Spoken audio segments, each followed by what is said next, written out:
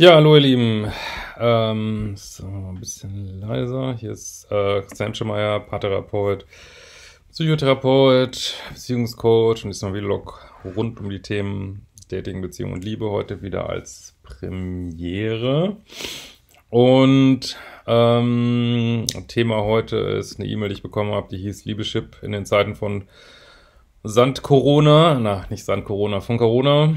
Ähm, und genau, das geht äh, um die Rückfallgefahr in toxische Beziehungen.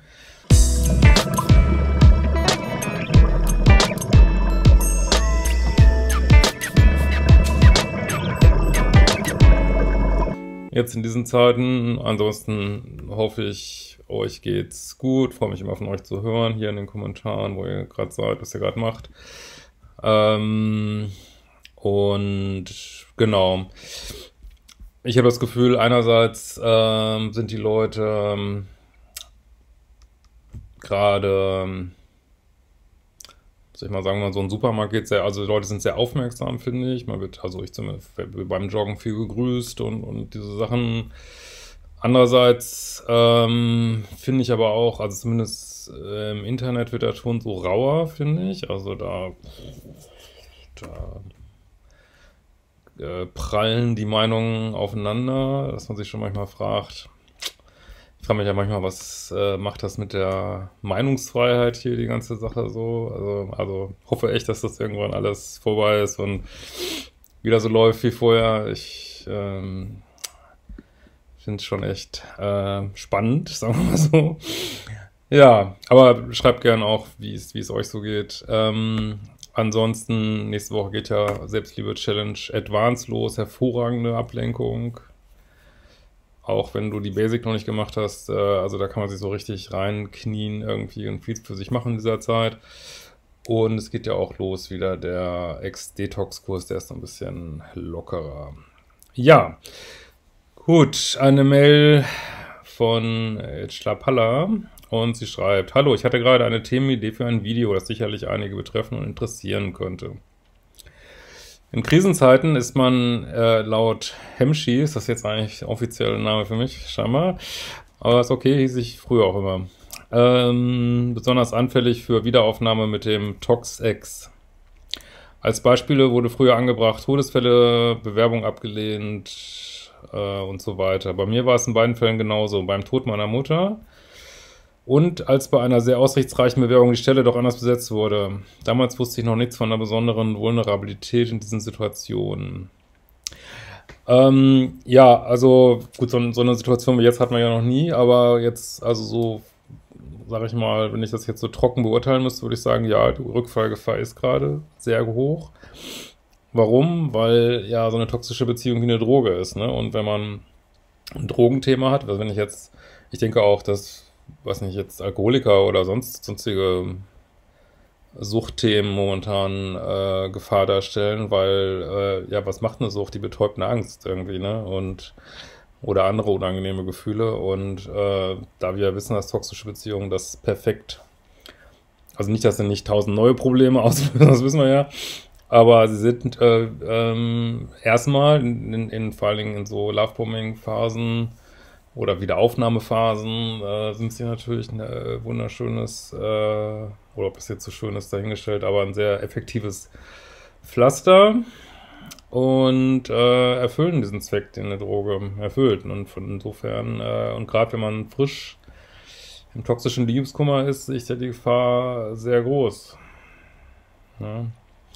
Heute bin ich an Tag 79 in der 100 Tage No Contact Challenge. Ja, ich empfehle immer die 100 Tage, ne? Und was sehe ich auf meinem Handy, das leider auch die Anrufe von blockierten Anrufern anzeigt? Was ist das für ein Handy? Also ich kenne ja nur iPhone, da ist es nicht.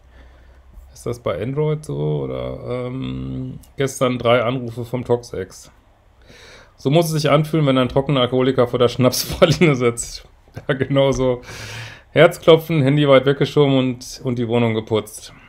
Raus kann ich wegen Immunschwäche nicht. Also vielleicht mal thematisieren, was für Süchtigen dass wir Süchtigen derzeit besonders rückfallgefährdet sind. Ja, also ist definitiv so. Ähm, Und ich halte das für sehr unglücklich. Also wenn ihr irgendwie eure Handys und E-Mail-Accounts so programmiert bekommt, dass ihr einfach nichts zu sehen kriegt, weil das ist so ähm, so ätzend, wenn man da noch im, äh, ja, im Erzug ist, ja mehr oder weniger. Und dann, selbst wenn man ähm, keine ganzen Nachrichten bekommt, allein so einen Anruf zu sehen, ist schon eine Zumutung dann. Und ähm, ja, also versucht es irgendwie ähm, so zu machen, dass ihr da wirklich gar nichts von mitkriegt. Also es ist wirklich, also effektives Blocken und äh, Blocken und Wegschieben ist wirklich ähm, das Sinnvollste in diesen Situationen. Und immer wieder, ich meine, letztlich ist auch die Frage, wie gut ist eure Shitlist?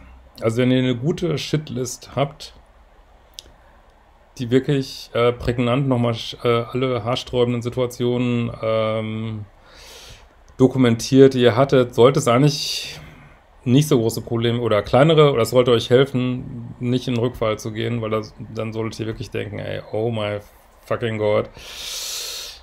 Da, nee, da will ich bestimmt nicht wieder rein, so, ne? Weil man kann, also auch diese Rückfallgefühle ähm, sind ein Ausdruck, Ausdruck von bestimmten Gedankenstrukturen. Also wenn ich äh, alles so, wo ich den Ex auf einen Podeststelle äh, mir gezielt nur irgendwelche Lovebombing-Phasen ins Gedächtnis rufe, äh, denke, ja, Gott, werden sie so bald sterben und dann lieber nochmal einmal äh, schön toxisch, toxischen Sex oder irgend so ein Kram.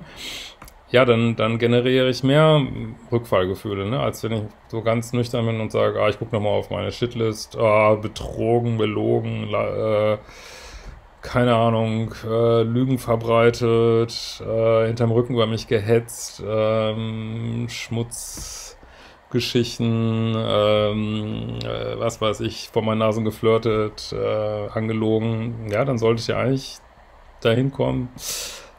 Ja, da, ähm, das wird sich ja jetzt nicht geändert haben, Entschuldigung hat es auch nie gegeben, ähm, was, was, was wäre jetzt anders, ne? So, aber letzten Endes ist es natürlich auch wichtig, ähm, also eine Entscheidung zu treffen, dass man sagt, ja, ich will es wirklich nicht mehr. Ne? Weil,